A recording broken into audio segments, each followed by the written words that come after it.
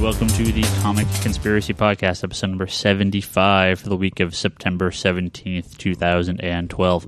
My name is Ryan Higgins, and I'm joined by a venerable Sager. cast of, of, of, of Brock Sagers, apparently. Yeah, Brock Sager's You're all. Brock Sagers. I cloned to myself know. over the weekend. Who else have we got down the end of the table? Omar. Across from Omar. Toby. And next to Toby. Charlie. Nice Charlie. Nice, yes, Charlie nice shaved. Charlie. He's no longer evil Charlie. He's no longer from the Mirror Mirror universe. Thank you, Charlie. Uh, hopefully, you had a good fight with Evil Charlie, and you won. won. You were victorious. Uh, light news week. The last few weeks have been kind of quiet. Thank God, all you people love writing us crazy questions on Twitter and on email, and uh, so we got a bunch of questions to read here. Uh, I we're gonna talk some AVX 11 later. If anyone has anything else to talk about, should let us know. Um, not that you're gonna hear this. I, I, meant wonder you. what crazy is with Ryan. I meant you four. Like, if, ta- if you want to talk some comic stuff, let me know. But uh, I'm gonna start reading some questions. Holy crap, we're going to talk comics on this podcast? Yeah. Ooh, We can Psylocke talk on Valiant. Ooh. Psylocke and the X. It's all cartoons and HeroClix this episode. Yeah, buddy. All right, Charlie, this one's for you. It's not for you, but this one's for you. Uh, I love Alex Ross's work in Justice and Kingdom Come. What other Yeah. books has he done that you recommend? Charlie is our resident Alex Ross super uh, fan. super fan, Yes, right? yes, Thank I you. am. Um, So let's hear some recommendations. so if you're looking for interior, he did like one. Okay, first, if you love Kingdom Come, you should pick up the Thy Kingdom Come story they did in the Justice uh, Society of America book. It's available in three trades. Alex Ross only did one interior for like a one shot issue they did in there, but he did have some oversight in the overall story and it's written by Geoff Johns and it's awesome. It's ignore the the kingdom follow up. Just ignore it. It never happened. And just picked up the Thy Kingdom Come Justice Society. Can I add on that? Sure. Dale Eaglesham is not bad too. He's a pretty sick, Yeah, he um, was the artist who was doing the Yeah. work around Yes. Alex Ross. Yeah. but good call on that book. Um, but I mean, beyond that, pretty much Alex Ross does interiors very sporadically. Like, if I recall, the first thing he did was a Terminator book that I, I, I think it was Terminator Burning Earth. Yeah. Is that and right? you have to mention Marvels. That's Yes. Oh, yeah. I Absolutely. don't know. It's hard to pick between Marvels and Kingdom Come. I really liked Marvels. Uh, this is a four issue miniseries. Well, Mm-hmm. four issue and a zero.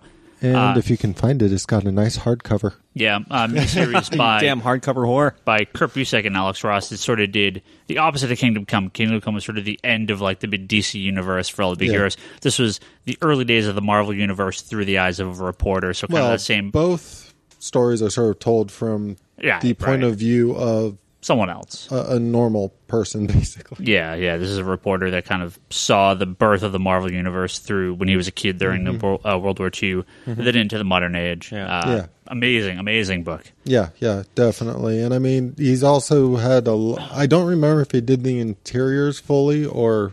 I was talking to Brock and Ryan about this just a little while ago in the Avengers slash Invaders book. But all that being said, he will be doing the interiors in the Dynamite Masks book coming out soon. That's like the big crossover between Green Hornet and Zorro and Shadow and a lot of those pulpy heroes. So I'm really excited for that. Yeah, it should be cool. Yeah. Anyone else favorite Alex Ross book besides Kingdom Come and I- Marvels? I, like his Crisis on In, In, Infinite Earths cover. The, the giant big giant- slipcase. Yeah. Shit, the poster with George Perez. Yeah, Oh, we yeah, actually that- have that- that, framed in the back. poster Really? awesome. Yeah. Oh my god, I have that poster. nerdgasm. And I got it signed. The, the the comic book shop I was working at before this one uh, actually got it signed for me. He um he went. He's I had to work that night, and he goes, "You want anything?" I was like, "That poster would be cool." So he got Oh it my signed for me. But it's so damn large. it's such a bitch to like put it up. Right? I'm like, how the hell am I going to put Yeah. this up? It's so huge. Yeah, you so have to I'm cut not. it. How how is it framed at the back? Is it a small version of it? No, someone framed it. yeah. Full frame. Someone by the name of your girlfriend? No, no, no. Like some customer, he was clearing out his stuff, and he goes, "This is kind of what I have left, and I couldn't do anything with it. Do you want this stuff?" Why is it not up here? You should put I gotta up. dust it, and I gotta find a place for it. It's giant. I don't know what It is It's huge. It's huge. Hey, look, it can fit right up there. It would be kind of cool. I mean, well, here, here's the other thing, though. I, I still got the. I Uh, think it would Not be really. too it's big. too big. Yeah. Oh, really? Is it? Oh, the height. long. Oh. It's long. Yeah. Well, no, you, you you can hang it from the ceiling. You can put the rooftop. I mean, like you know, like some kind of hangers or some shit. Like a See, it's Well, so on the- big. on it's the other side, like you can put the, uh, posters Jim Lee Batman. the place again. One at a time, guys. One at a time. The other side, you could put the Jim Lee Batman he- heroes and villains. Those are bigger. Oh, are they? Yeah, those are huge. Together they are though, not single. No, I think no, individually. no, no, they're not. They're I don't know. They're not. All I know Trust me. is I've always wanted to get those framed, and I because still those haven't. I have, and I have an easier time. If I were to frame, those were easier to frame than the, in uh, the Alex Ross one. I thought they were bigger. No, the Alex Ross one is longer. It might be taller, but the Alex Ross one is longer. Okay. Well, yes, lots of good stuff there for uh, for P- fans of Alex Ross. Uh, this oh that was from um, RS RS Shooter I think that is. Um, this is from Lopside Down One. Uh, says this is less of a question, more of a curiosity. Team Seven opinion. I'm sure that would be discussed Yes! anyway. Uh, Team Seven is a well relaunch of an old Wildstorm book that they're bringing back to DC Universe. Uh, Zero issue came out this week. I haven't read it yet. What do you guys think? Anyone read it Oh yet? fuck! Oh yeah, I did. I didn't know it came out. Yeah, Yeah, What the? Yeah. Was it my pick of the week? Mm, I don't think so. Was it my pick of the week? I I think it was my pick of the week. Yeah, I think it was You should Ryan's just- pick of the week. You should go run over and get it right now and It's read it. at least. What the my pick, and I didn't even read it yet. This Well, is how busy I am. I don't even watch my cartoons anymore. I didn't even know fucking Team Seven came out. I guess for me, because I did read it, I enjoyed it, but it's purely, purely a setup book of okay, these are the characters, so we have to get them all together, and it shows the different recruitment, which, while was interesting, doesn't really give you any of the story. This is where they're going from here, mm-hmm. so. But it does have some foreshadowing going into the Suicide Squad issue zero because the Team Seven book, at least the zero issue, is From what I understand, it's it's um, the past. Team Seven, Deathstroke, then Suicide Squad is sort of the, the crossover. Is that how it goes? Well, the the way this basically works so far is the Team Seven book seems to take place in the past. Right. It's the setup for this Yeah. kind of super spy So- DC team. What what the zero issue had is getting these group of people who appear in various books. As you said, you have Grifter, you have Am- Amanda Waller, you have Deathstroke, you have basically all the typical mercenary types getting together in the Team Seven book. Deathstroke. Yeah. And then in the Suicide Squad book, you have basically that opens with Amanda Waller being approached by somebody she recruited into some branch of the military. I don't mm-hmm. remember which. Mm-hmm. And it's made pretty clear that she's basically under a self-imposed retirement because of events from that happened within Team 7. They make that very clear that that evidently ends very badly. So hmm. it, it was sort of an interesting contrast to see in the same week the sort of start of the Team Seven stuff, and knowing already that it has to go very, very badly. well, I think the new book is uh, minus the zero issue is about the team kind of reforming or, or sort of the the modern day after effects of what the original team did. Yeah, maybe. I never read, like, I Gen just found it 13. interesting. I never The never. hell is wrong with you? I never read it either. Actually, mean, I Gen like the 13, you'd covers. like it. Yeah. I think you'd like Gen 13, the early ones. Okay. Everything else. But is isn't good. Team Seven like connected to it in some way? Yeah, there's a well, depends which version, but yeah, there's a couple. Uh, there's one member that's the same. Oh, okay. Yep. Wasn't the original Team Seven uh, Deadshot or um uh, It was Death well, it's Fairchild's Lynch. father. Lynch. It was Lynch. and it uh, was Deathblow? Yeah. Grifter. or was Deathblow Grifter in it? Awesome. Yeah. He was okay. No, but in this in this one, I read it. It's it's basically like Charlie said, a recruitment issue. Right, it's right. Lynch is talking to people that you don't know who he's talking to about forming a team, and then it goes into recruiting each person for the team. But I I did like how you got this. It, it really did feel like a zero issue because it's like okay, number one is you're just going to take you. You're going to see where we go with number one. But it was nice to kind of have that Suicide Squad one where we see the aftermath of Team Seven, especially with Am- Amanda Waller, and then we go into the beginning of the Suicide Squad. The the only thing that I found very kind of in a way funny about the zero issues is so the Team Seven Zero issue as a team book was very much into the what you'd expect from a zero issue of a team book in terms of getting the team together. I don't think any of the other team quote unquote books focused on more than one character for the zeros that I've read so far. No. Because Suicide Yeah. Squad was just all Waller. Um, Legion Lost was just Timberwolf and his origin. They're they're kind of picking This and I'm kind of expecting the Teen Titans is just going to be Robin. Well, Red Robin. But I think that I think that with like especially with the the Suicide Squad, and I think what they're doing, well, what it feels like is is the Suicide Squad pre fifty two used to be called Task Force X. So I think what they're trying to do is they're trying to take Team Seven and Task Force X and kind of put those two kind of ideas together. Hmm. Because the only the I didn't mind the Amanda Waller was by herself in the Suicide Squad one because that's where she started the i- that's where her idea started. Well, I agree with that, but they at least the impression I got reading the Suicide Squad is we weren't reading their first attempt at the Suicide Squad. I didn't really Yeah. get the impression that this was brand new. They just brought these people together. It was more like some people had already been going on missions. Some people were new going on missions. It, Well, if you if you look at this, go back and read the zero issue, and then What? read "Kicked I- in the Teeth," and it's literally like you're dropped right into what Suicide Squad is in that issue. Hmm. So I think that I think it works. no. I don't know. I'm just curious to see what other retconning they do in the trades. Got a few more questions here. Oh, Set these can we talk about the retconning? uh, of what? Robin? You well, yeah, the fact that they changed stuff in the Teen Titans trade. uh, Yeah. I saw that. Eh, How, how about that Liefeld is doing a homage to uh to uh the Deathstroke book, the Teen Titans book. Yeah, I saw that too. So, real quick, um, yeah, we can talk about this real quick. Uh, they've already kind of retconned out some of the um, New Fifty Two stuff, but for me, that's I don't care. That's just them changing their mind about something from the Yeah. first issue. It was just a throwaway line of Red Robin saying he was Robin. Now they're just going to say, "Oh, he's always Well, Red Robin." but they Eh, also threw away the line about previous versions of the Teen Titans. right, right, right. Well, uh, as well as um, I'm sorry, this is um the Tim Drake version of Robin. Yeah. It was always Red Robin. Wait, that doesn't make sense with Starfire. I'm That pretty sure didn't happen. now. Happen. What Star- Star- Starfire's not a whore anymore? No, no. For, from what I recall in Red Hood, she she had been on the Teen Yeah, she Titans. talks about the Teen Titans. like so. she talked about being on the Teen Titans. Oh, Eh, that's stuff. I mean, it's annoying, I'm but just. It just amused me a little bit that they're so committed to this that going forward in trade versions, they actually went back to change text within the issues.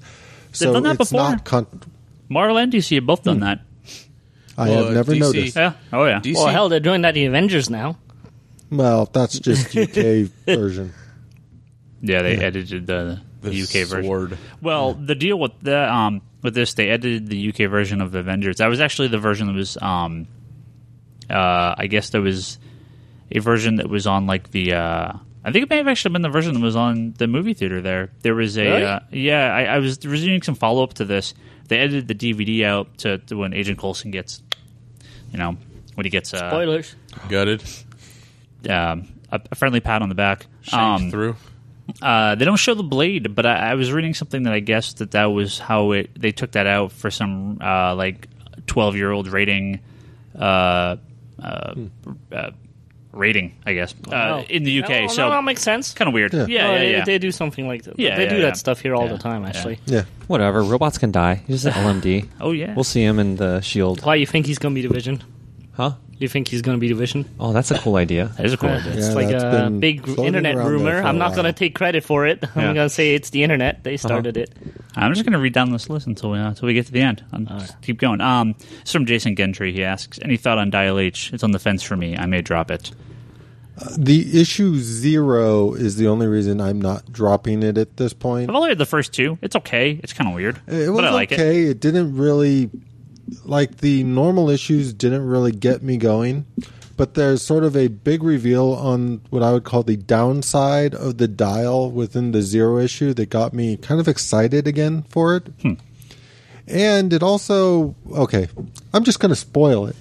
Go for it. Look at Spoilers. you. Wow. So, in the zero issue, they they kind of acknowledge the fact that the dial's been around a long time in a lot of different forms because it's actually a sundial in the zero issue that's being used by an ancient culture to summon a character called Bumper Carla, which is basically a superhero that drives a bumper car That's Okay. cool. Um, and defeat this big beast. And at the end of the issue, you find out that the way the dial actually works is it summons the spirit of a hero from basically the multiverse. They make it seem like another universe within the new 50 the New Fifty Two multiverse kind of thing. So, at the time when Bumper Carlo was summoned to help defeat this monster, Bumper Carlo was actually in the process of saving some people who then died.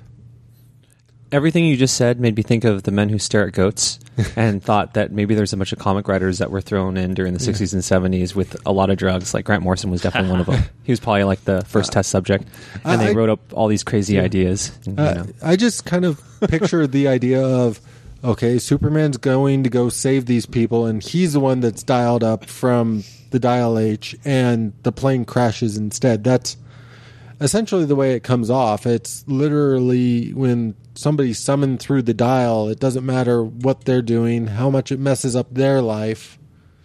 That's cool. Yeah. No, that's funky. Yeah, no, it's Yeah. yeah. I had actually dropped. I had actually dropped the book after issue four, and Charlie had told me that information, and uh, that made me interested in it, but not interested enough to read Yeah. it because I I couldn't stomach the the dialogue and stuff in in the book. It was that's how I felt about. Su- that's how I felt about Suicide Squad after issue nine. you just don't like Mayans. I do. I do No, love you Mayans. don't. I love all ethnic people. No, you don't. So, Okay. any event, I guess in a roundabout way, I'm not saying that Dial H is the best book ever after that reveal, but it's got me at least committed to the next issue. So, Yeah, I'm gonna keep reading it. I like the concept. yeah. Uh, so here's a question. Oh yeah, the concept's awesome. Here's a quest- uh, question uh, from Timothy Jones on Twitter. Uh, he asks, "Oh, this is actually a really good question. Uh, starting to get into comics, digital or physical? What a great question." Um, Timothy, my answer to you is: How close are you to a comic book store? If there's comic book stores around you, I find most people prefer physical. I find most people that don't have stores near them or can't get to them conveniently prefer digital for ease of ease of you know reasons. Uh, it's kind of you know your own personal choice. I obviously suggest physical, but um, you know, uh, digital comics are cool. This, they're definitely getting bigger. Uh, we do really well at digital storefront. I don't, comiXology seems to be doing really well. Uh, obviously, you know, a lot, couple people in this room buy them both both ways. I think both ways is going to be, uh, which is what I always assume. Most people will buy in both ways. Uh, if they're buying digital comics at all, they'll tend to buy you know a little bit of both. So, especially if you have a shop within 15 miles of you, 20 miles. See, to me, the the nice thing about a lot of the digital frontier and the sales that are going on constantly is you can easily give something to try that you haven't started getting into. And I mean, you can literally try one issue during a sale for 99 cents, or you could buy a series of issues to get caught up to start getting them after that point. But I mean, Well, I was. Um, I- I've been okay. yeah. playing around with reading different things online. I mean, Marvel used to have a free app that is the way I got introduced to Ultimate Spider-Man, and I immediately started buying the hardcovers after that. So, uh, I, I definitely think sort of using digital as a way to try different things is a very successful way to figure out what you want to buy and how you want to buy it. Well, I was talking with my rep with uh, DC at uh, DC Comics today about this a lot. Um, they were talking about a lot of trades going out of print, a lot of trade paperbacks, a lot of the collected editions. Um, and my kind of phrase to him was, "Hey, digital is not a replacement for single issues. I think digital is a replacement for the trade paperback. They're the versions you keep. They're the versions you really want. Um, you know, people will do their sampling or buy the big runs uh, digitally instead of a trade, even though they're formatted and priced in a single issue format. Uh, I, I think that the digital really is for the, the trade market over the single issue market. Um, so I guess it kind of comes down to that. If you want to read older stuff, collected editions, read them all at once. Digital may be a little bit easier because trades, you know, especially a lot big, famous and classic stuff isn't still in print, but a lot of little kind of niche stuff's going out of print. Uh, but if you got a store near you, you know, head down there on a Wednesday, hang out, and you don't get that online. So you want to sell your books back, you may not get much, but you're not going to get anything for them digitally. Plus, I mean, not to put too fine a point on it, but even people coming in here, just talking to the random customers, I've I got recently introduced to the Deadwardians that way, and Yeah, mm-hmm. yeah. Mm-hmm. yeah, Yeah, it's it's it's awesome it's- just it's talking to people, and yeah. people will love to talk to you about the books they like. Unlike online, where they really just want to rip each other's throats out. exactly, exactly. Well, I also, I mean, it's also a space issue. I mean, Sure. it's not only just is there a store near you or is a store not near you. It's it's also do you live in a place where you have space Yeah, to actually store these things? Because I mean, I I go I fill up a long box probably every three to four months. Yeah, yeah. So That's see- about how long it takes me to fill up a bookshelf. But you know, here's one of the things too, right? And this is one of the great things I find with uh, with buying the physical as opposed to digital. I suppose you could find a way to sell the digital books to someone if you really wanted to. Um, but you know, you could tr- maybe transfer their code or give sell your account to them. I don't know. Sell your entire account. Yeah, more likely. Yeah. but um, you know, if you've got the physical books, you know, one of the things I've I've learned very easily uh, is that you have to purge. You have to get rid of stuff. Yes. How many people? I don't know how many people here. I don't think you guys really do. But some of the people listening, I'm sure you have a Steam account with 600 games, 550 of which you never played. Well, if those were real games, you could just sell those or give them back or put them on eBay or do something with them. They're digital games. You can't do shit with them. They're stu- you you paid for them. You're stuck with them forever. Um, That's why it's all about the price point you paid for. Sure, but even at a dollar a piece, you know, you might, digital may be a buck a piece at the cheap end. This is all assuming you know legal Well- purchases. Uh, f- you know, but for comics, you can buy a lot of these physical ones for a quarter a piece. You Yeah. can stock up. You know, you buy them on eBay for nothing, way I cheaper than was- you'll get them on on comiXology for, I'll even be- on a sale. I'll be the first one to admit I've I have purchased far too many books that ended up in the quarter bin at full price. Yep. like Yep. I, I've I I'm proud that I have a complete run of the original cable series. I stopped collecting around the Soldier X issues, and I swear I've seen at least seventy five percent of them in quarter bin. yeah, of course, of course. Well, so if whenever I get to start purging, I'm sure that all my stuff that comes back to Ryan will be in quarter bin or free box on like you know free comic book day. Well, I mean, and, and it's also, it, I mean, you say there's there's also overlap. I mean, I'm I'm not touching digital right now, but I knew I know if you know I start traveling more or you know going out. I mean, I'm going to want to have something that I can potentially read. I mean, I'll still take like a book with me, but uh, I won't start. I won't be taking graphic novels with me to read anymore. I, I'll much rather download stuff online. see, Yeah. I would rather see graphic novels come with a digital code than the single issues. yeah, ex- yeah. No, I, I kinda agree. completely and totally agree with that. I no, would love that. absolutely. What's this guy's name again? Uh, this is um, Timothy Johns, Tiny Tim thirty one on Twitter. Tiny Timothy. Don't listen to what Brock said. If you when you're traveling, you on a plane, You want there's nothing more. There's nothing more sexy. There's nothing more sexy than pulling out your comic books from a plastic case, well, that's and, uh, and then you pull them out of the mylar, and then you look over at the girl, give a little wink. yeah. You know, there's nothing like that you know, sexiness. it- it's funny that you should mention that, Omar, because when I took care of you when you had a few too many drink, I was trying to find your keys. And I looked in your backpack, and guess what I find? I find two plastic bins, like little snap-ons with comics in them. Holy fucking nerd! He's got he he went to the bar with comic books in his backpack. That's This- right, baby. You never know when you have time to read. yeah. It's how your rolls, man. I I'll admit I always always always kept a trade in my car for the longest time. High five. All right, let's uh, let's move on here. We got um Cross Hunter. He writes us all the time. Uh, any of you guys reading Spider Man or the Ultimate Spider Man run? Fuck no. Spider Man. Yeah, I did. I read the Yes. first two issues of Spider Man. Yeah, I'm I current. read Are we this talking about first three? amazing? No, No, he's no, talking no, about the Spider- crossover. Man. The Mean. the Peter Parker Man. from normal Marvel U It's crossing over Miles. into the Ultimate. Yeah, yeah, Yeah, yeah. the, Spider Man. With Yeah. Black Spidey, yeah. Yeah. like real black, like like bla- like black, black- black like crow he's- Spidey, Spidey with the the fro, black, black on uh, white. like he has Spidey. webs on no, his head too. he is Why are you black. touching me? Uh, touch him. yeah, you are. Touch me. He's black and Mexican. yeah. Any of it. Anyone Yeah, reading those? I am. I'm reading I am. the Spider Man. You've read Ultimate Spider Man, both of you, Toby Yes. and Charlie, from like issue one, right? Yes. Oh, I read all the initial Ultimate Spider Man up until when Miles took over the suit, and then I only made it a couple issues in before you ran out of a couple issues. Yeah. Uh, So- well, I stopped when he switched to uh, the Ultimate Comics, Super Yeah. Ultimate Spider-Man, or whatever the title is.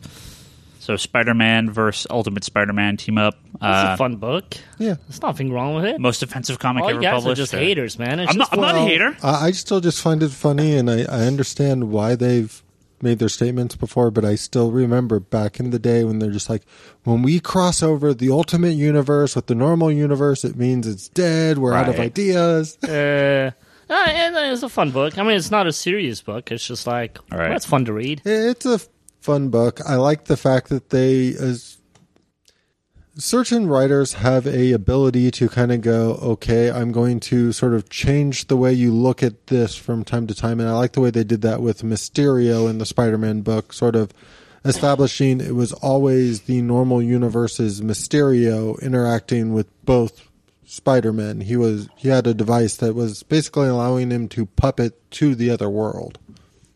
So I did like that aspect of and it. the I- original Ultimate Spider-Man run is freaking amazing. Still, Yeah. I stand by it. Still, Yeah, the new stuff I just I haven't read it in su- such a long time. I came back I came back around um, the relaunch after um, Ultimatum and I lasted a few issues, but eh. all right. Uh, we got a couple Batman questions here. Uh, one from Don. He asks, uh, "Ooh, do you think the next Batman movie should focus on the Court of Owls?" That's kind of neat. I don't know if that would work in like the JLA because suppos- supposedly the next Batman movie is going to be like the JLA Batman, but um, Court of Owls could be cool. It's been a good crossover. Nah. yeah, I don't think so. That's like the Geoff Johns Green Lanterns going right into the movie a little early. All right. Well, I'm just thinking, do you really like Court of Owls if you did it like directly having it the big reveal being potentially Bruce Wayne's brother? I just don't think yeah. that would Yeah. translate Like, over people very well. are different. Yeah, Well, and I mean, Batman has such a, a gallery of villains that you can you can play around with that we haven't seen or Yeah. that we need to revisit. That I think that going to something like the Court of Owls, which is a fairly new creation, Sure. it, it, it would it, would throw people. But if you, it was maybe the the next movie or the third movie, I think it would work because then Well, you could, of they- course, redo Jonah Hex and tease the shit out of it in a Jonah Hex movie. If they actually Oh yeah, there was a Jonah Hex movie. I forgot about that. if they actually did it properly to sort of build it up over a couple of movies, lay some hints, then mm-hmm. I think it would work better. But mm-hmm. I kind of feel like if you just jump straight to that for the typical movie goer, they think you jumped the shark, making it Bruce Wayne's brother. Yeah. Yeah. I don't know. I think that you know the way the animated movies have been, it's all either Superman or Batman. And, Oh. you know, it's going to be Superman's turn. That'd be a good. Bat- that'd be a good animated movie. Court of Owls Yeah. Oh, yeah. is made for is a made for animated. I mean, that's just like would be perfect visually.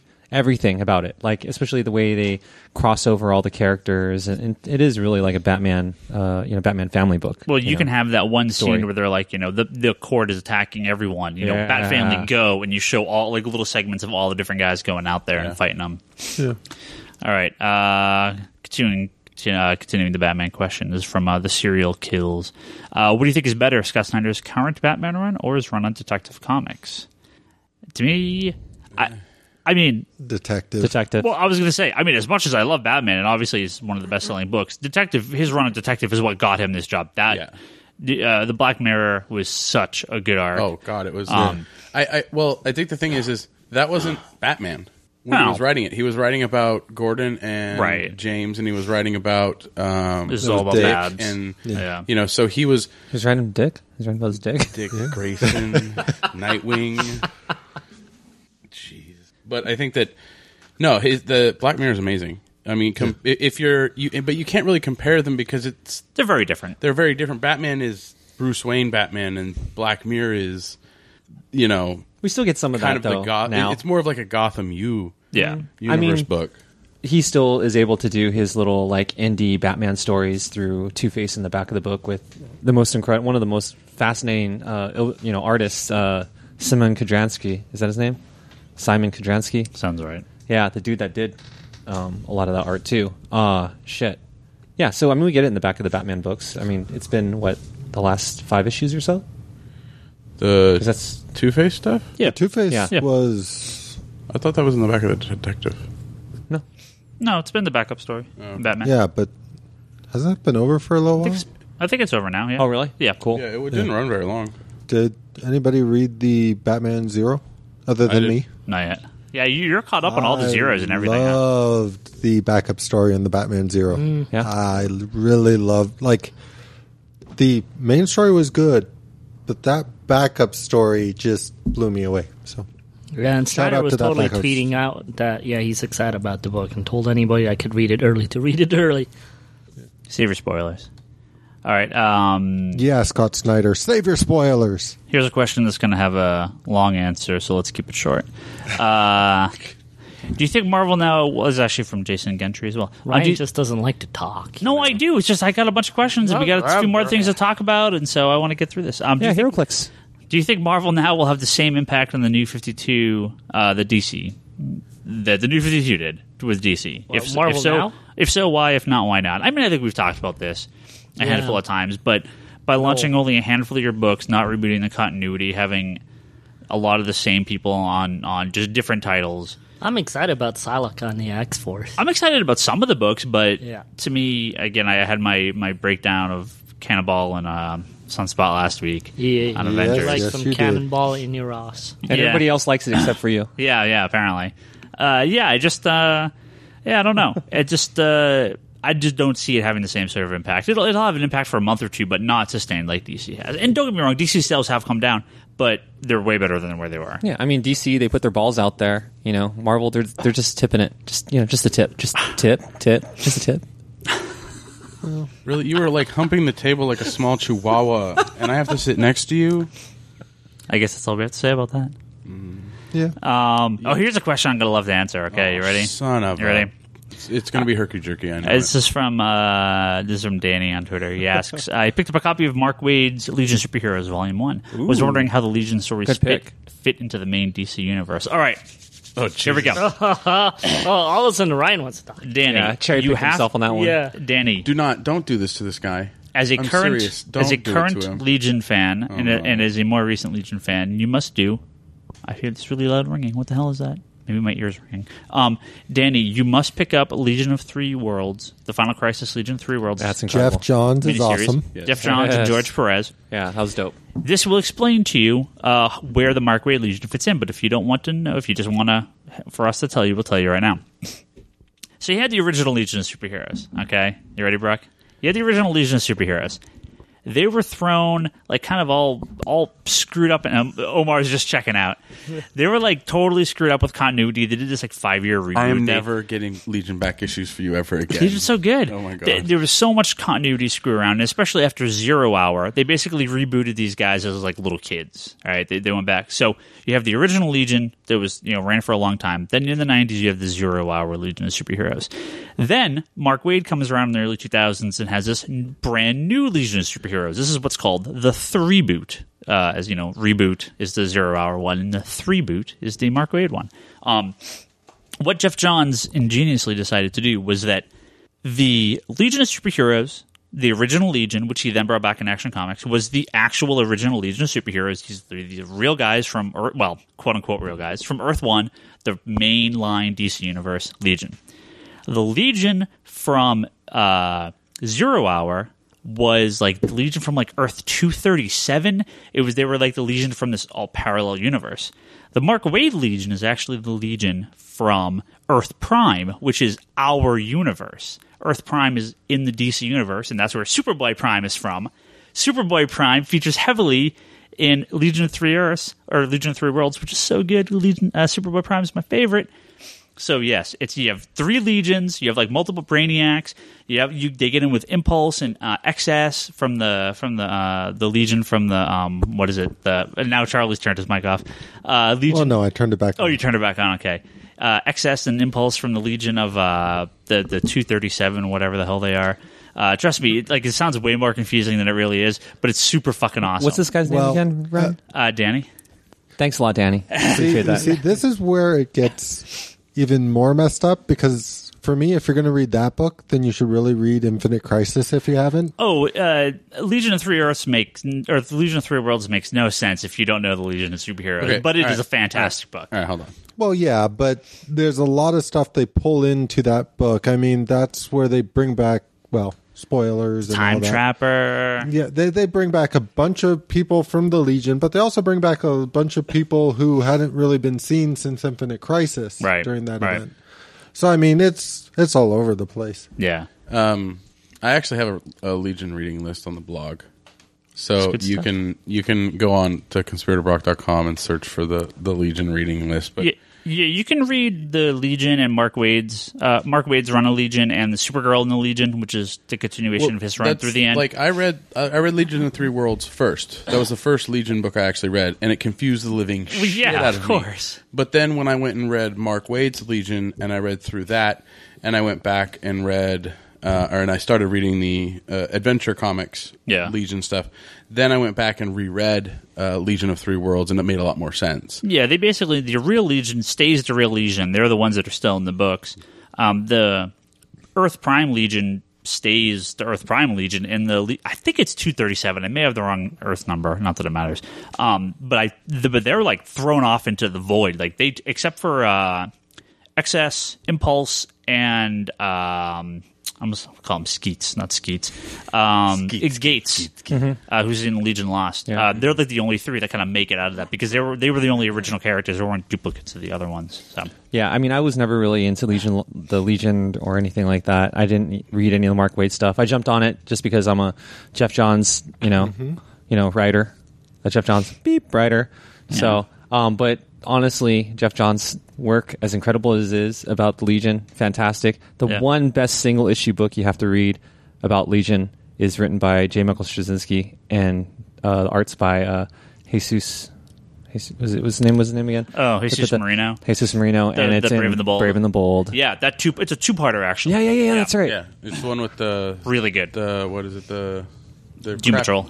The, no, the crappy team. Uh, the Legion, the, subs, wannabe, the yeah, Legion yeah. of Substitute Heroes. Yeah. I love that. I love how they're called Legion of Substitute Heroes. all right, all right. There's your Legion uh, info for this week. Uh, all right, got a question from Liquid. Everyone gets one answer, top of your head. I don't want to talk about this very long. Think about it. How it. big is So your why are we even answering the question? Because you ready? Hottest comic book ladies. Ooh, Do it. Since I'm talking about the Legion, I'm just going to shout out Triplicate Girl. Go ahead, Brock. You got it. I, I I'm blanking. Five, four, three. Oh my. Psylocke. Okay. Stole, Wow. stole Toby's answer. Huh. Sorry. No. Toby's no. gonna say Black Cat. Yeah. Or Black Canary. Charlie. Charlie. Charlie's in deep fuck. There's too many. He is in deep. many. I'm a little worried about It's Charlie. like too many. Dalek, Dalek in a dress. What, I you're, mean- you're like I'm making my, my brain's just like going around like going. Well, I've never seen Charlie like this before. The look that He is red on top of it too. the look that he was giving Uh. Brock, and Brock looked so scared. See, Brock should be the first one to jump on this answer. What's up? There's too many of them. Okay, I'll name one. Uh, Catwoman. There you go. Nice, that's a good pick. Selina. Well, for the listeners Adam, out there, Adam Hughes. Here, I'll go with Talia. I love Talia. Talia is, Talia's that incredible. is That's a another good good choice. Yeah, for that's sure. a good choice. All right. All right, moving on. Uh, Obviously, none of us like boobs because none of us picked Power Girl. this is from Mark Hammond. I Mark got Hammond. Black Cat. She's got big old Oh, boobies. true. It's from Mark Hammond. Mark Hammond. That sounds like someone. Um, what would it take to get the Marvel film rights back to Disney? Uh, Wait, what? Say it again? What would it take to get all the Marvel film rights back to Disney? Uh, billions and billions and billions of dollars. Yeah, especially after Avengers and all Actually, that shit. Yeah. Maybe not so much. We just need Fox not to make any more Or, movies. or lots of really bad movies. When, if Fox fails enough movies and, and Sony Or if fails, they just don't make them. No, yeah, yeah, Yeah. So, If they abandoned their own projects like Daredevil that I actually wanted to see. yeah. Did you guys see that that trailer that Joe Carnahan put up? No. That Daredevil would have been badass. Oh, that Daredevil, yeah. Oh my I did see god! that. That's I actually kind of want Fox to keep Yeah. that right and then like- give up. Uh, you know, Galactus and Silver Surfer would be better off for Marvel in Yeah. their cinematic universe. Yeah. One and of- then that badass Daredevil would have Uh, been badass for one of my Fox. one of my buddies, uh, Bucky. What's up, yo? Uh, he's a cool filmmaker. He's moving to L.A. You know, so you'll probably you know hear about him soon. Uh, he's Come on, uh, man. What's up? it's not even a challenge. What do you mean not a challenge? No, I'm kidding. no, dude, I was trying to introduce you guys on Facebook. No, he's a homie, and he was like showing me this, and it was so. This you got to check this out. What uh, Toby's pointing out, it's like it's like Black Dynamite. For those of you who don't don't know Black Dynamite, it's like Black Dynamite meets Daredevil. It's fucking incredible, like seventies is. exploitation. Yeah. incredible. Well, this is like a what do they call them, like a sizzle reel or something? Yeah. Yeah, it's, it was just the feel. He took footage Right. from different movies. Yeah, a lot of Frank and Miller put it, shit. yeah, and some comic book images put it together and kind of showed off what his version of the movie would have been like. Yeah. Holy moly, man, that would have been dope as fucking hell. All right. Totally uh, different from the other Daredevil The music movie. alone. Yeah. Uh, This is from Chris. He says, "I no question. Just wanted to know that he just finished buying the last few issues to complete his run to the '80s Suicide Squad comic. Good Lucky choice. man. Wait, what? He just he had no question. Just wanted to let us know he, he bought the last few issues to complete his run of the '80s Suicide Squad. Oh, comic. Congrats. Yay! It's a fantastic comic. We all love it here. I Keep need them in to- your mylar. Don't That's be on- like these other that's guys. On my list of stuff to get bound. Yeah, don't bound. Don't don't bind it. All right. keep it in your. All right, two more here. Let's uh, let's let's run this through, and then we want to hear about Brock's trip to Portland. Uh oh. Um, this is from this is from Brock, Geraldo. Brock is stripping. Yes, this is from Geraldo. Uh, Can do you I guys leave? do you guys have any good Supergirl stories to recommend? And does it do Supergirl fifty two any good? I actually have to do fifty two Supergirl. The old stuff, yeesh. I was not a fan of the Peter David run. I was I not. actually kind of liked that one, but then I, I- didn't know it was bad, so I liked it. I liked the first if like that's a good or bad. I liked like the first twelve issues of like the new like the Supergirl after that the one, bef- Yeah. but then it gets bad Yeah. Fast. Is the one after that then the, the Michael Turner design? The Michael one? Turner one, yeah. and then it gets good again towards the end. Yeah. but it gets bad for a long time in the middle. Yeah, I tried it. I like the Superman Batman Supergirl. That's exactly Yeah, what that's brought me story. into it. That's- Yeah. It was Jeph like Loeb, right? Yeah. And then he wrote the first arc when they Yeah. launched, and the first arc was great. And then, yeah. It just wow. And the old Supergirl stuff is really rough. Like, See, unfortunately, I feel the same way about the new super. Like, and I think I talked about this Yeah. before. Mm-hmm. I seem to love origin issues for Supergirl, and typically even maybe a story after that. But as soon as you get beyond that point, it always tends to start losing my interest. You know, Supergirl should really be on the Titans or another team book. I think she is interesting, but not interesting enough to carry on own weight. So she would fit really well in like one of those. You know, that's why she does well in the cartoons when she's not the main character. She's part of like a bigger team or something. Well, see, to me, I think back to Superman the animated series because they had at least one episode that was really about her, Yeah. and and actually Batgirl. It was sort of like their sort of sort of buddy episode, similar to what you have. was a in, good one, too. um, That's true. Okay, I got an answer. Okay, I got an answer after. you. Skip the Supergirl book and just read World's Finest. Yeah, that was good. Yeah. Um, on t- tag on that, going back to the old, you know, Ryan was saying, oh, the old Supergirl stories, oh, horrible. I agree. But what's cool is the concept and idea from, I think it was Superman Family, when I think uh, Alexander Luther or Lex Luthor, like some other version of him, was effing Supergirl. That was cool. Oh, I think it was like Yeah, it was I kind was- of like when was a cool the- little that- like when it was uh, when it was during the death. Yeah, that was- Yeah, Weird. but that wasn't really Supergirl. That That, was was, like that a- weird yeah, blob. that, that blob thingy. yeah, oh, so he was effing a blob. Yeah, yeah. That's Yeah. Well, it's, it's his own and it little fleshlight. was Lex Luthor's mind inside that. Bo- Yeah, The dude, Yeah. with the dude, on. with, the dude had with the hair, personal- right? Because he had hair. pers- personal yes, but it was still Lex. It's like a Supergirl Lex flashlight. cloned his body and like moved his brain into his clone's It's like, body. it was like a new Lex with this giant red mane of hair. Yeah, that was Yeah. beautiful. His Yeah. beautiful long hair. Kind of looked like Brock. I know. All right. Oh, uh, you know what's the best about the Peter uh, Peter David uh, Supergirl run? What's that? Well, it's number one because all you see is her boobs and S. Uh, Sweet. I like that costume. yeah, The, that was just a like good the white costume. shirt with the yeah. with the blue short, uh, or blue like skirt thing. I like that costume. Um, all right, and the last one from um, Stefano here. I hope I'm always pronouncing that correct. Uh, what's your crew's opinion? Oh, God, this could be an episode by itself. What's your crew's opinion on variant covers and their effects on the health of the industry, both long and short Fuck 'em. Term? Well, since Ryan never gets me the variant covers I really want, I really don't know what Hey, to say. I, I bumped my Red She-Hulk numbers just to get you that variant. yeah, cover, thank so- you. I'll buy the extra comics that you had to No, buy. that's fine. Fuck them. Variant covers. All of them should be Robot Chicken. yeah, That would be funny as hell. Or or Lego. Or Lego. If- Didn't we see that other cover out there? I like all those Skottie Young covers, man. I'm dying for them. I think um, for I think the reason he's asking this specifically, uh, there was a article by Brian Hibbs that went up Yeah. on uh, comic uh, comic book resources, Mm-hmm. Uh, and there's been a lot of the stuff on, on Bleeding Cool about this as well. Uh, just kind of the backlash against sp- specifically Marvel uh, with what they've been doing with the Marvel Now stuff, uh, the amount of variant covers, and I will tell you that having to deal with about a th- about a half of every comic I order de- being a variant cover, it's a pain in the ass. It's difficult as a retailer. Yeah, I can make some money on them, but if they all went away tomorrow, I don't know that I would care. Um, Well, especially since we got customers to come in that you know only want those, and they don't understand that we're limited on them. Right. We can't guarantee you a copy, and there's Well, some some guys that I- come here that get really really mad at us. I mean, Well, like there the is guy- a yeah. So the way I have it set up here is, I think about as perfect as a situation as you can get.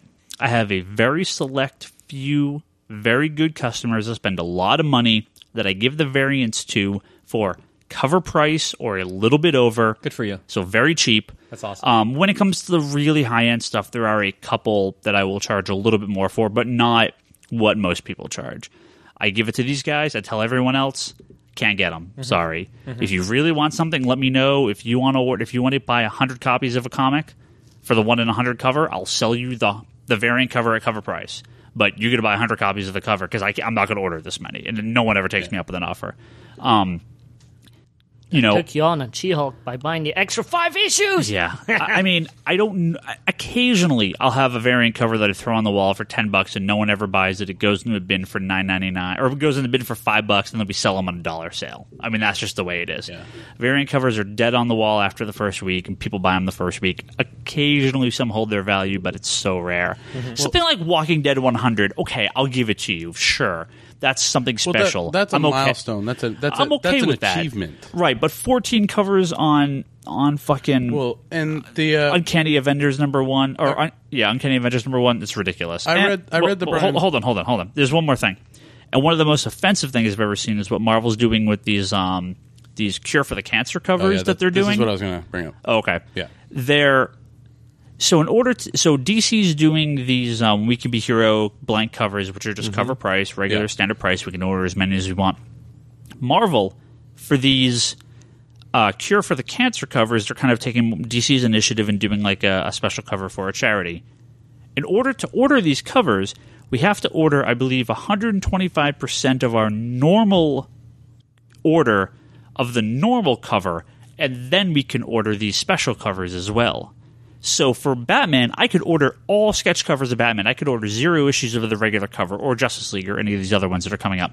For this, so let's say for Captain America, Yeah. I have to Uh, order X twenty three because I want that one. Right. So for, Wow. so for that one, I have to order. If I order forty copies of Cap, I now have to order like fifty copies of Cap, and then I can order these on top of them. So Marvel is trying to profit greatly Yeah, off these charity thing. charity covers, which is like, are you kidding me? Like this is bullshit. Because I, mean, I was reading that article, and then it, and then I I saw uh, another article on I think Bleeding Cool or CBR where they showed all the covers that were pink, and I'm like, okay, but aren't they supposed to be fundraising covers? Aren't they supposed to be giving? Yeah, you really, know- what they should be doing is release that cover separately, and the people that want to help it, they could just buy the other cover. Yeah. So it's pink. And and it, yeah, it's, Yeah, it's a got lot, like of, a pink lot of them are going to have like a pink shading too For- for breast cancer? For breast cancer, yeah. like I mean, comics and breasts. I mean, why why couldn't they do something a little more creative here?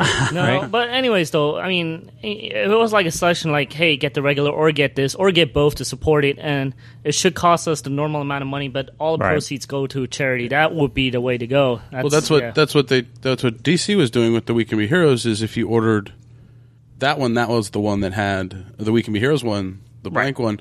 It, it it went to charity, so you already got it. Yeah, I got a ton of the Batman. Yeah, you one got that them, sold. Yeah. and we sold we sold out, right? yeah, I got even more coming. So Yeah. and I can just order them freely. They just, they're all just fully available. Yeah, no, I, I, I, I'm a lot of the variant stuff that's going on, especially with what's going on with Marvel with this whole, you know, Marvel Now thing.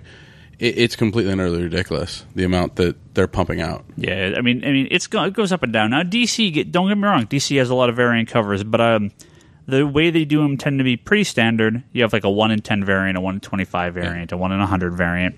I mean, yeah, I, I get some of them. I make a few extra bucks, but it's like at the end of the day, Well, eh, statistically, this this for this whole year, it's been the bigger titles normally had a 50-50, right? They had the fifty or the fifty. It was the No. one in twenty five. No, they had a they had a well they had those, but they had a you got to order as many copies as you wanted of this variant cover for this very big title as the lowest ordered for that week. So the week Action Comics comes out, GI Combat comes out. Yeah. And I order eight copies of GI Combat. So this Action Comic variant I can only get eight copies of That's because that's, actually my a really lowest. good system. I think that's actually Yeah. Oh, that's a brilliant And I throw them off for cover price and that's I think that's fine. yeah, but that's a brilliant system that kind of limits, you know, the retailer. Yeah, it's stuff like 50-50 covers. I don't mind. Yeah. Companies like Boom and Dynamite. I Well, mean, they got to do what they got to do to survive. they- right. Dynamite has four covers in every book, and it's like I'm not. I know Brian Hibbs hates it. I I don't hate it. I think it's kind of annoying. Well, but I, but I'm not ordering a thousand copies to get the variants to flip them and, and throwing away the Well, for- comics. for his store, that's what people do. for his store because I've been to his store. It's i if he ordered only four copies of that and he only got one, but somebody else wanted the copy that was already purchased. You know, he doesn't know off the shelf who's going to want it. Whereas here, you know, you order for the shelf and most people just grab whatever cover. They don't have a particular. Yeah. You know, here it's a little bit, but up there it seems like it's people are a little more specific. Well, a story from my days at Legends. Um, I remember we had one guy there who specifically wanted us to put one of every cover in his box. And then I found out shortly after that what he was actually doing was he was looking through each cover, figuring out which ones he wanted, and then putting the rest back on the Yeah. shelf. I would be like, nope, Yeah.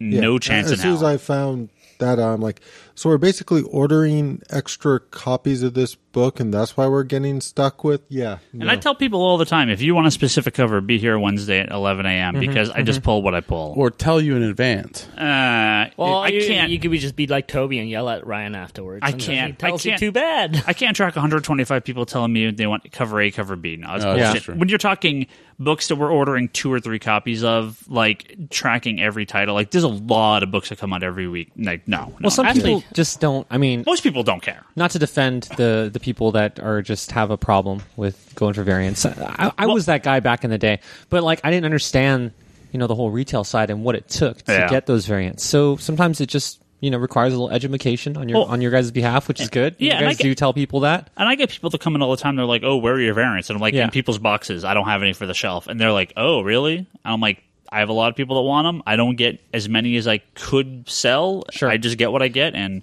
if I qualify, cool. And I don't adjust my orders to. I mean, if I in a case like this where Toby really wanted this cover, I was close to it anyway. I'm like, yeah, that's fine or whatever. Yeah, but normally, I, mean, I, don't- wouldn't. I wouldn't have. I mean, I, I always tell you, I mean, if it's too much, then don't do it. No, I, I'm yeah. honest Well, with you and, too. and, and sometimes Well- it's easy to order for the variant because if it's a Jim Lee variant and you know you're going to sell the shit out of it, you know, Yeah, sometimes these variant covers are the fucking worst thing. Oh, I know, but- and it's a hardcore completionist only. yeah. I'm not talking like the before Watchmen ones. I'm talking like the when he was doing those Legion ones. Yeah, yeah, yeah. Those like you or I know you ordered. a I ordered those for myself. Yeah, well I ordered. Nah. But you can those you know you can sell because they're Jim Lee. And I'm not saying like I don't buy covers. I buy variant covers not all the time, but on a lot of the Geoff Johns and Grant Morrison stuff, I'm a big fan. I buy them for myself. Would I pay ten dollars on the shelf for them if I was a customer? Hell no. It's for me. It's like it's a perk of running the store, being behind the counter. I do this because I can get it and I really like it. But I mean, there was a time where I was getting literally every variant for every book I got, and Yeah, I know you f that. Your books too much. Well, I got to say, Ryan, you've been doing a really good job. I mean, I, I'm, I'm poking fun at you, but you actually know me very well, and you actually, when like the dynamite, you usually pick the right cover that I, I like. know what you want. And, You know, but no, I was saying that though. You usually do it to the rest of the customers too. I mean, I- you, I- you- I mean- after a while, you kind of get to know them, and Yeah. you, pick, you you try to do the best. You know. Well, when they have like, oh, here comes the one Michael Turner cover, or or the one J. Scott Campbell cover, and there's twelve other covers. Oh, better grab it for Toby. I know Toby wants it, but you know, I mean, and I do like get that with a lot of customers, but I couldn't take orders on a monthly basis Yeah, from no, every totally. customer on which cover they want Yeah, because that's that's craziness. It's too much work. Um, and that's it for question wise. Variant covers Can die. we can. Well, we do like the art though, right? Some of the special art that uh, you know a cover artist does. Oh, Some of the variant, like one of my favorite things, especially working at a comic shop. I don't think I necessarily want to own them this ways, but Yeah. Like I remember with um, Brightest Day, the variants on that, when looking on the shelf and how you could like put them all together. Well, the, the the puzzle variants Yeah. were funny because Oh, you know, th- that's kind of a theme. They did that. It, but Image did that with um, Whilce Portacio and that that whole piece that you put together with all the Image books at the time. With who? I don't know. Oh, Will Tascio. Tascio. Good job, Tascio? Tascio. It's okay, bro. He's Filipino.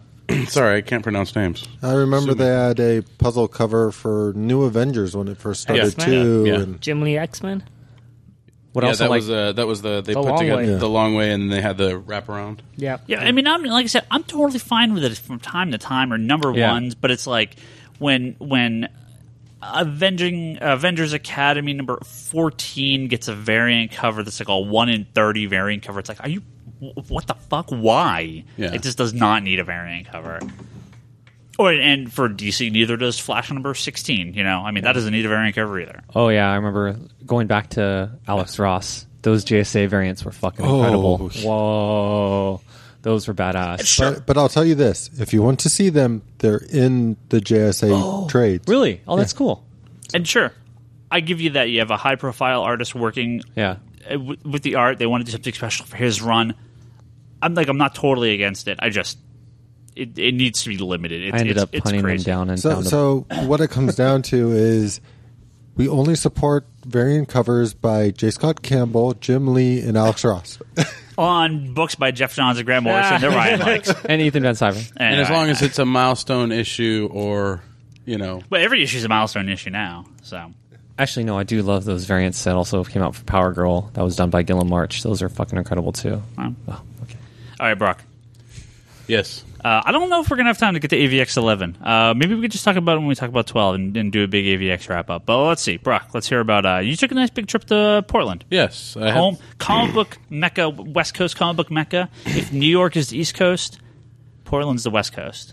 Yeah, I would have to. I would have to definitely say that it was impressive because I I went up this weekend to. Um, I left Friday night or Friday afternoon. Uh, for friends were getting married on Saturday, and they were nice enough to drop me off at Powell's uh, Friday night. So I was in Powell's and I got lost, and it was awesome. I ended up picking up a Jonah Hex, the first trade from the last run. Oh, you never read that before? Never read it, so I figured, hey, I'll start it by Powell's. It's used, it's cheap. Um, Time out then- real fast. What was the hottest comic woman that you picked, Charlie? Talia.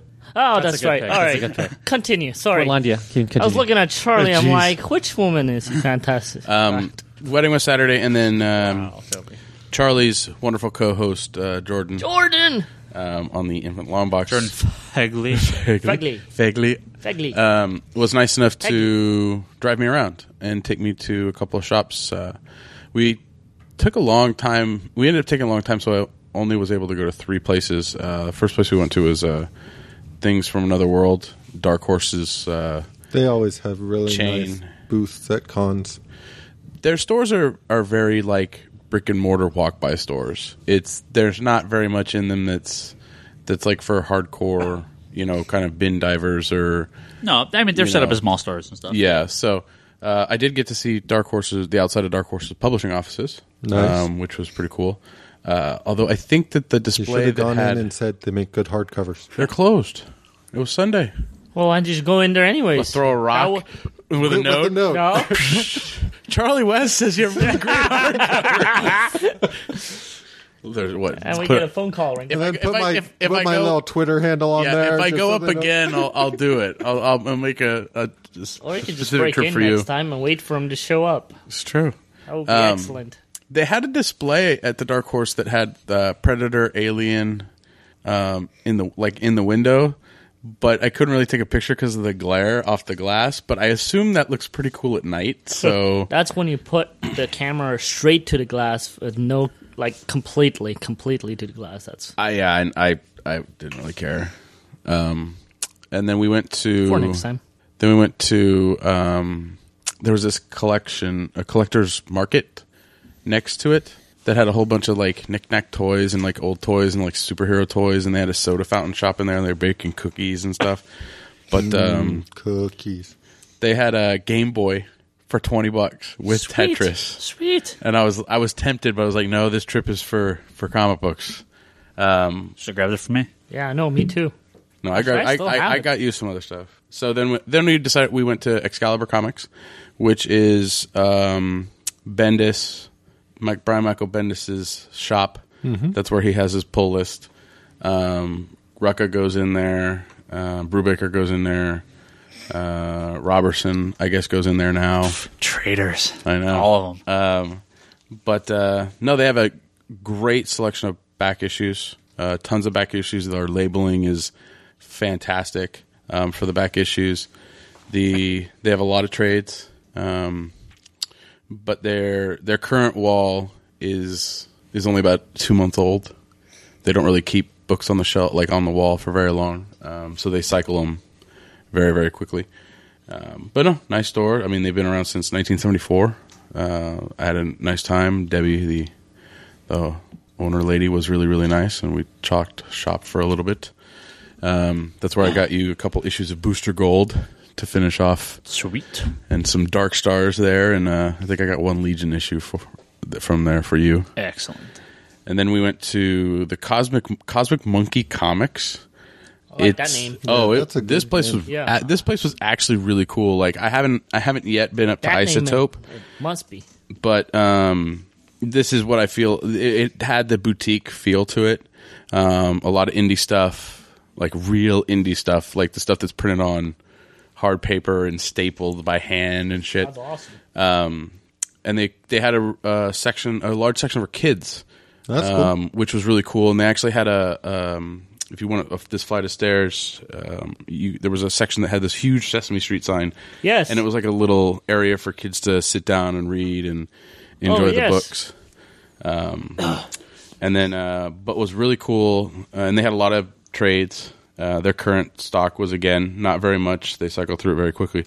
But what was really cool is they had like a back room that was like off to the side that was back issues, and they had a ton of stuff there, and all their back issues were fifty percent off.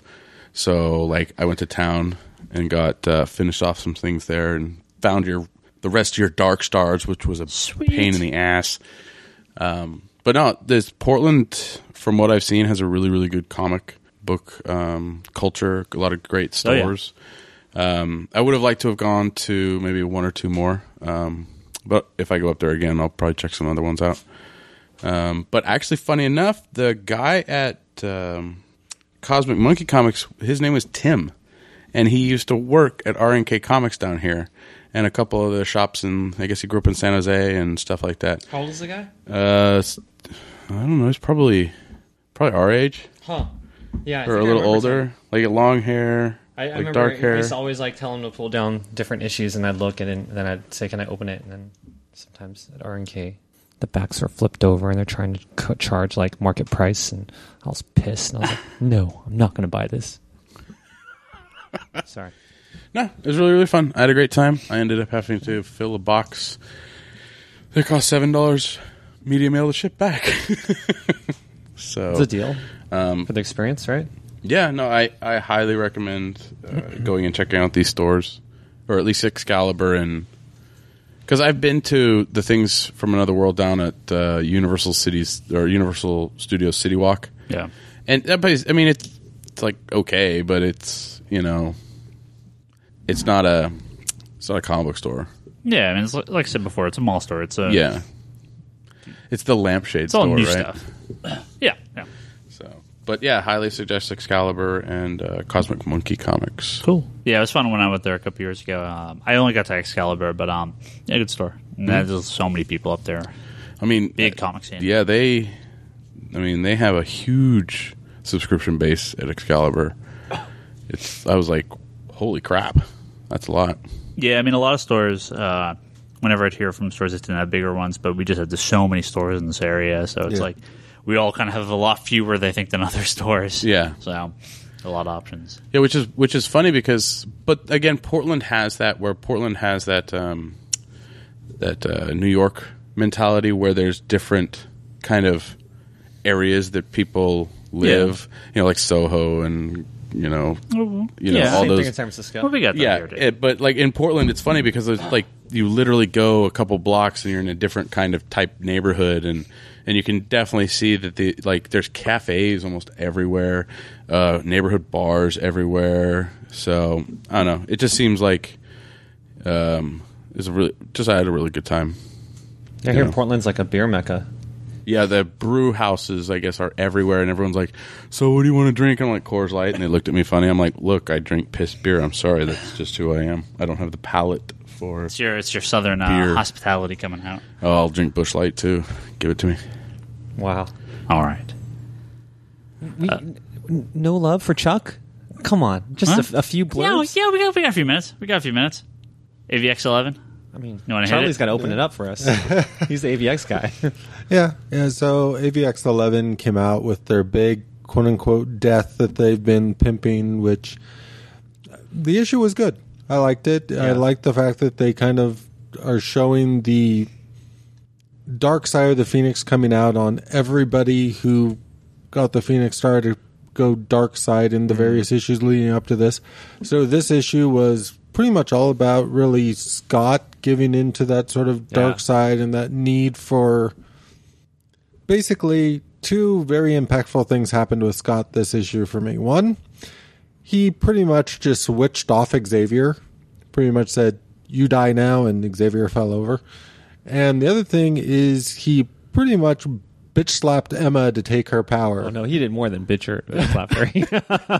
Let me. I was, I was hoping you were gonna set me up for this one. Yeah. He choked that bitch out. Yeah. He choked her out, and she kind of liked it. She had that little half smile on her face. I was like, Did you read um, the Uncanny X Men from this week? "No, I didn't. Is it good? You should. okay, I'm gonna check it out. Yeah. You Well, said so. We were talking before uh, the podcast. We're like, man, why couldn't the first like nine issues been like the last few? And I mean, I've still got my reservations on this series, uh, especially so. Spoilers if you didn't know. I mean, they killed Professor X. This is the ninth time he's died. Whatever. Um, but you know, they've it, those man, those first five or six issues are just. You look back, it's like. What were you thinking? Just so boring, and mm-hmm, nothing mm-hmm. happened. Yeah. it's such a slow Well, start it, to the it, series. It, really, really those first few issues. I mean, despite the fact that it was Romita Jr. artwork, it was those those issues stunk of Fear itself. Just- like just the, the like that middle part of Fear itself, where it's just like, okay, this person has this hammer, and they're gonna fight this person. If you want to read about it, go over and It was just read this meandering. book. Yeah, It was just meandering, and it was like, all right, a bunch of fight scenes. We promised you fight scenes, so here's the fights. Oh yeah, the plot. Uh, I guess we're nine issues in. We should actually move the plot forward. Well, here's the way I look at it. The first couple of issues was fulfilling the Avengers verse X Men title. Because that's all the first four, well, actually, five issues were, were here's the X Men, here's the Avengers, fight! So that's what we got. Um, once the five got the power, it became less about Avengers versus X Men and more about yeah, th- that should have been the start of it. Is the five of them as the Phoenix? at which cut the point first I five out. wouldn't necessarily call it Avengers versus X Men. Well, sure, you call it a, a decent book. I got to point this out just because I'm sure it. I mean, it was discussed all over the interwebs, but it must be discussed here at the Comics Conspiracy because that's all that really matters. Oh, let's hear it. the opening scene, Captain. You know, cinematically panned, just on Captain talking just to so you know, somebody. the second I read the first part of that dialogue, I'm like, he's standing there talking to Hulk. I don't give a shit. Whatever. You know, I'm sorry, it was- everyone. It's- it was Hulk is predictable as shit. I'm like, am I reading Ultimates here? Is is this what I'm reading? That's literally what I thought when I read those first few pages. I'm sorry, Like, not everybody's it a was- super it was crazy- boring. That was not boring. That was incredible. I thought it was fantastic. I, I'm, A plus. I haven't seen Hulk and Captain in a while. Together. I meant- I don't read Ultimates. I don't read those shitty books, even though I love you, Hickman. I may have to go back and reread it because uh, when I first read that, I thought he was standing at the edge of a cliff. It looks like he's standing at the edge of a cliff and he's like talking into like the void, and then all of a sudden he's like, "Oh wait, the Hulk's standing in front of him. Where the hell did he come from?" Like it was a really weird shot. Uh, well, yeah, it was a really weird shot because they didn't want you to see who he was Sure, talking sure. to, so they kind of had the weird angle. if you that- didn't know who he was talking to, you're stupid. It was so predictable. So, well, and here's the funny thing. So he gets the Hulk Okay, on their comic team. snob. It's like, all right, so he gets the Hulk on his team. sorry, I'm I'm sorry. I'm a comic snob. Hulk smash. All he's gonna do in this issue is pound them into the ground. And what do they do? Pound them in the ground. It was like, yeah, I mean, the Hulk's there, and then he does like one thing. I, I like, I didn't feel like, oh, what, what was this big setup for the Hulk? Like, Hulk didn't do anything. Like, to me, he hit him once. Well, all Okay. right. To me, all that and a certain amount of what happened in the issue, I can already tell they're setting up for the Marvel Now stuff. They're trying to bring the Hulk back into, and this is one thing that kind of weirded me out a little. Is it when did the Hulk shave? Or when did he grow hair back? Out of place, considering we had the Avengers Assemble book, just because it. it I'm not really sure where all that sort of fits, fits in because at first I thought it was a different universe, but then uh, Ryan was swearing it wasn't. You know, so Avengers all- Assemble it has to be post AVX. There's no way around Really? it because it does not fit in. It, it is. It doesn't fit in post AVX either with the way they're changing things. Is this the one with uh, Thanos on the cover or some Yeah, shit? Yeah. Or maybe it's all before AVX. but that's sort of my point is it doesn't make sense happening before AVX with this AV. So I have no clue. I don't know where all that fits together. I don't think it really does. But I get the impression that this was there. We need to bring the Hulk into this sort one of panel. family. Yeah.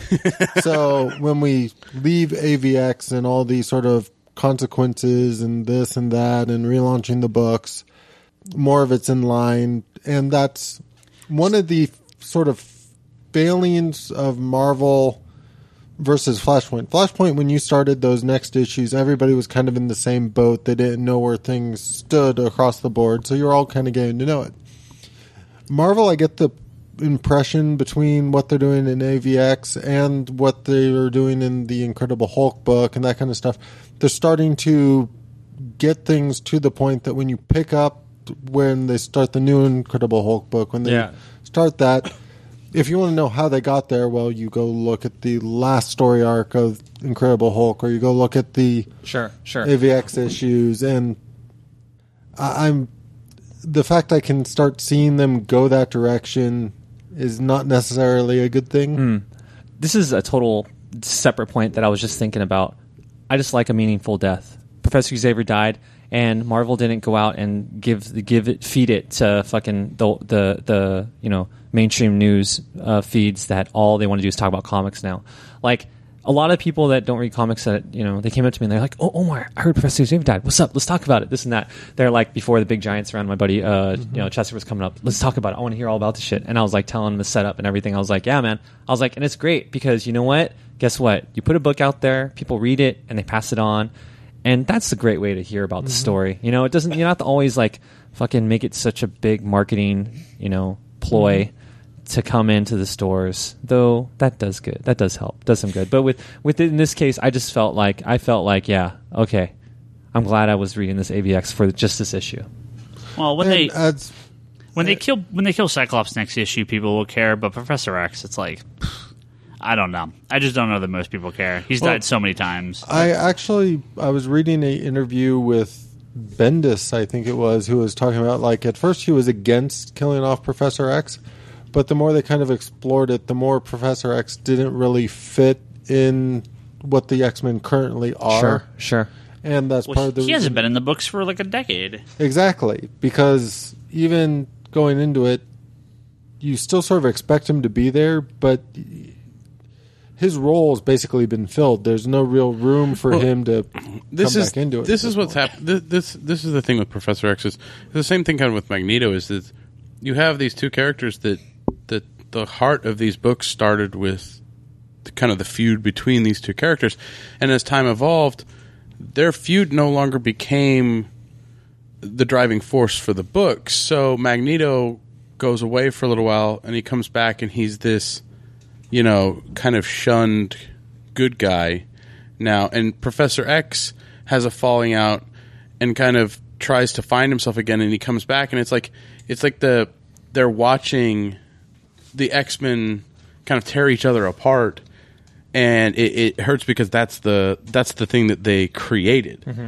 You know, so Oh I mean, come on! It's so much fun when Magneto goes up to people and goes, "You're sounding like me." Yeah, that's, that is awesome. I love it when he did that with Cyclops and that like those two panels. He was like, "I went down that path, son." All right. Well, we'll have a lot more when AVX 12 wraps up. Um, and they kill two weeks, I Cyclops. think. Yeah. Uh, there's no way I'm right. I mean, he's, he's Dark Phoenix. He's Yeah. not going to make it. at the end. what Jean felt like. Oh, No, because they're going to kill him, and Jean's going to come back and say, "Where's Scott?" No, they're both going to be from the past. Be like, what do you mean you just killed me? And Jean died. Because the, the ones from the past are coming back to the future. Oh, Oi. yeah. that that's going to be great. Well, you can make the X Men 12 again. I hope Bishop's back. I was going to say, i- is now, if, if they're setting Hulk up, does that mean the next issue, uh, uh, Cannonball and uh, Sunspot come in and defeat the Dark Phoenix, and that's why they get to join the Avengers? Of course, Yeah. Stupid. you hater. So Well, bad. okay, I have a question about the Hulk. Now, is when he's green, does it depend on the shading? Like, if it's brighter, is he smarter? If it's darker, is he dumber? No, they When he has a beard, he's smarter. When he has a beard, no, when it he's calculating.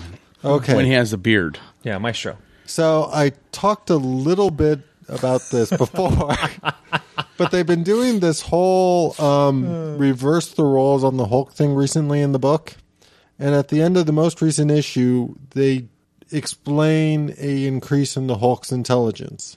through color. No, through events in the book. Oh, okay. Hence why foreshadowing launching the new Hulk series and bringing it. He's been smart and dumb Oh, and it's gray awesome. and red and It was cool when he was Mister Fix It. He Yeah, was never everything. red. You know what I mean.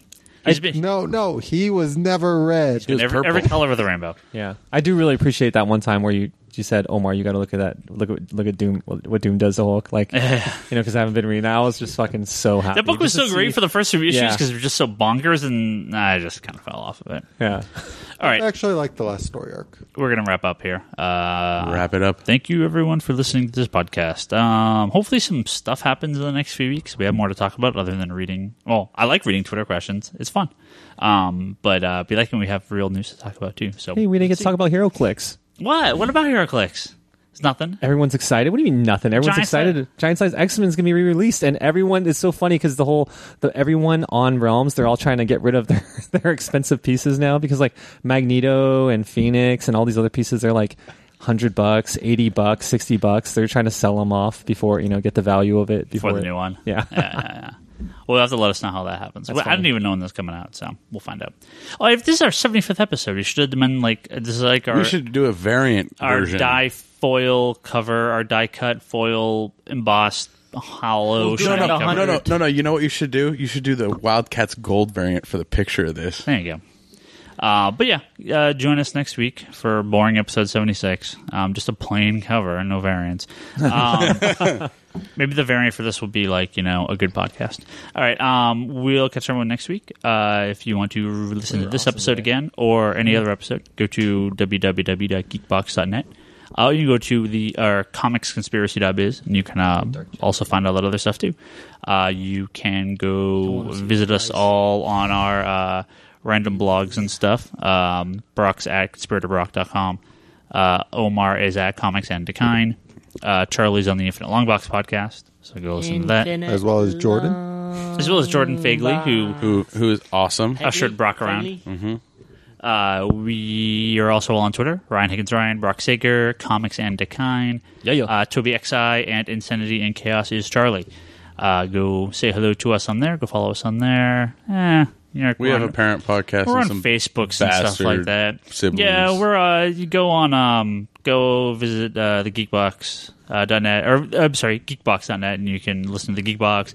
Come to it, and good job, Brain, as well as I haven't picked it. I kind of missed the last few weeks. Um, uh, All Talk podcast, which is the community members forum Yeah. podcast. So go listen to them.